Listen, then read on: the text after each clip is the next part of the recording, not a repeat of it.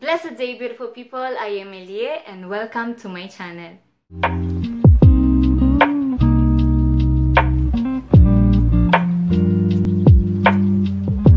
Hi guys, today I have a really important and beautiful message that I really want to share with you guys. So before that, happy blessed Passover guys. Yes, Passover. And I will explain myself. This Sunday, April 4, 2021, we will celebrate Easter. But what is Easter?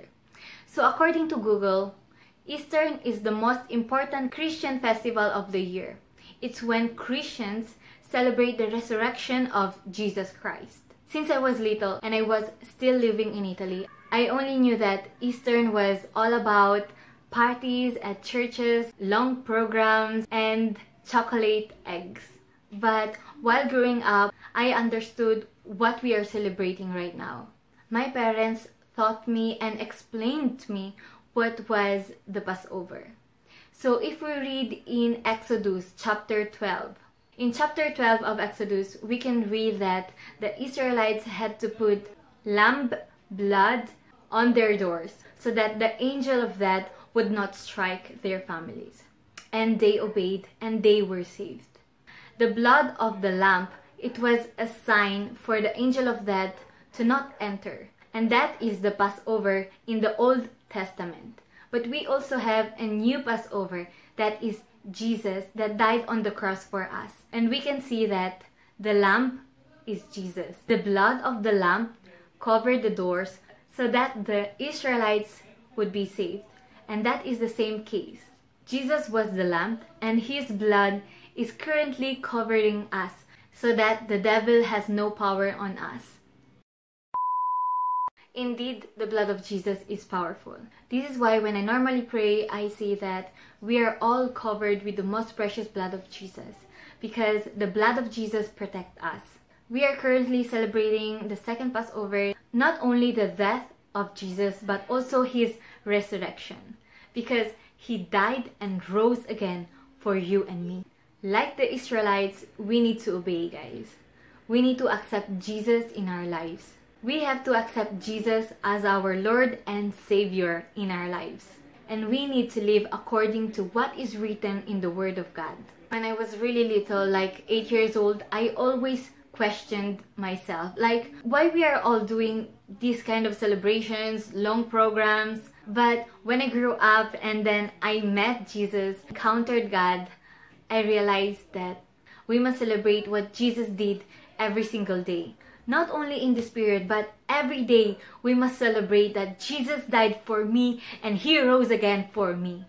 Just the thought that Jesus died and rose again for me, a sinner. I am just really so grateful and thankful. Like, why dying in such a cruel way? Before I was born, He knew me. Before I was born, He already loved me so much. And before I was born, He already prepared a wonderful life for me to live. We celebrate Holy Week not only to remember that Jesus died for us, but Jesus resurrected for us. He gave us hope. He is our hope. He is the way, the truth, and the life. If we are with Him, nothing is impossible. The more you get to know God, the more you will be overwhelmed by His love, like every single day. God deserves to be exalted every single day. He deserves the highest, the highest praises. We don't deserve salvation. We deserve to die because we are all sinners. All kind of sins make us sinners, like telling a lie or murder they have the same weight in the eyes of God. Without God, we are only dust. In conclusion, please accept Jesus as your Lord and Savior. He is the way, the truth, and the life. Jesus is coming soon. We must be ready. We must be prepared at any time. Let us encourage one another to share the Word of God, to do His will every day. Let us pray for one another. We need to share the Word of God. We cannot just be selfish we cannot be the only one enjoying the peace and love and joy that God is giving us every day. Everyone needs salvation. Everyone needs Jesus. Let us obey what is written in the Bible. Let's go and make disciples of all nations. Jesus is coming soon. We all need to repent and declare with our powerful mouth that Jesus is Lord and Savior over our lives. Guys, we need to pray more and more and more because all kinds of calamities, they are bound to happen. I've been quite busy these past few months, but God is good because He's still talking to me through dreams.